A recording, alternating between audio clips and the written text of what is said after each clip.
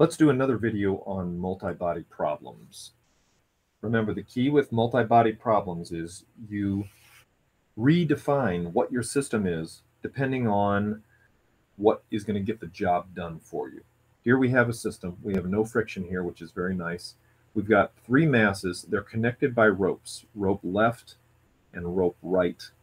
And what we want is the acceleration of this system, and then we want the tension in these ropes. What I think we should do here is first, let's say that the system is all three of these. If the system is all three of those, then the mass of that system is 12 kilograms, 5 plus 3 plus 4. And the net force, there's no friction. The weight and the normal force of every bit of this cancels. So the net force is 60 newtons.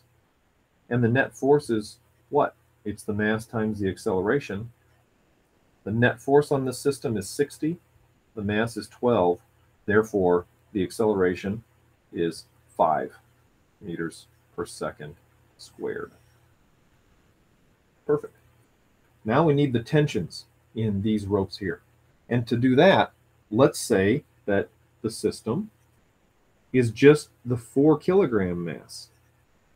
So, like I said, whenever you're doing a multi-body problem, you choose what the system is in order to get the job done. If we do that, what would a free body diagram look like on that four kilogram mass? Well, it would have mg down like that. There would be a normal force. And then there would be the tension in this right rope. Well, Fn and mg are numerically equal to each other. So that means that the net force is simply the tension.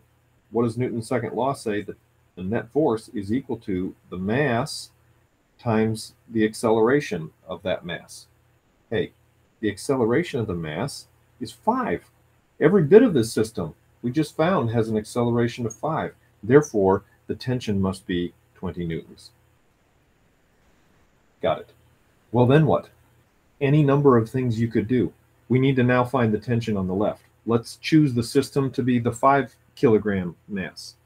If the system is the 5 kilogram mass now, you see how we're just selectively saying, you know what, for this part, let's make the system this. What would a free body diagram of the 5 kilogram mass look like? It would have mg down. It would have a normal force from the floor holding it up. On the five kilogram mass, you can see we've got the 60 Newton force pulling to the left. And then the tension in this rope is holding back. Ropes can't push. Ropes can only pull. What's the net force on this mass then?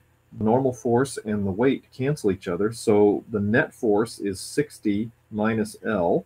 And according to Newton's second law, that has to equal the mass times the acceleration. One more time, the acceleration we found in step one is 5. So the right side here comes out to be 25. So 60 minus what equals 25? How about 35? There you go real quick, I don't know if you're going to see this. I'm going to take 20 seconds and see if you get it. Look at the three kilogram mass. Let me put a circle around it. Three kilogram mass. The tension in the right is 20 newtons.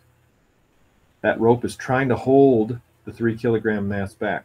The tension on the left, that rope is pulling with a tension of 35 newtons. What's the net force? 35 this way, 20 that way. What is it, 15? Oh, shoot, you can't even see that. Boom, there you go. Now you can. The three kilogram mass. That tension in the right is 20 newtons. This left rope is trying to accelerate this three kilogram mass to the left with a tension of 35 newtons. What's the net force? 15. What's the mass? 3.